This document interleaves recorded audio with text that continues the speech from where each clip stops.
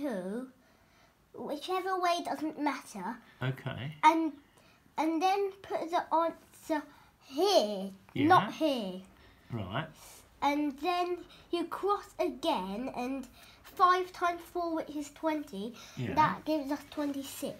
Yeah. And because this one is there, it gives us seven. And because the two is here, we keep that there. Yeah. Okay. And then we do it two times two, which is four, Yeah. and five times three, which is 15, Fifteen.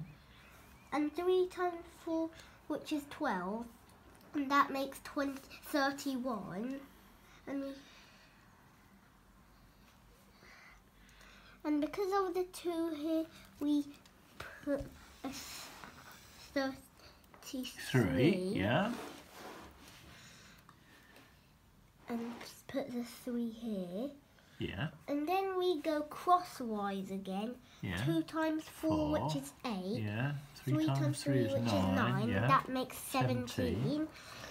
Because there's three here, yeah. we And make 20. it 20. Yeah. And two times Three is three is six.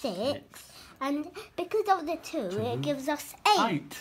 So oh, that's the answer is eight, eight, eighty thousand and three hundred and seventy. That's Well fantastic. done, That's really- Daniel. I can understand how it works. Three digit times. Yeah, I understand how it works because he's taken every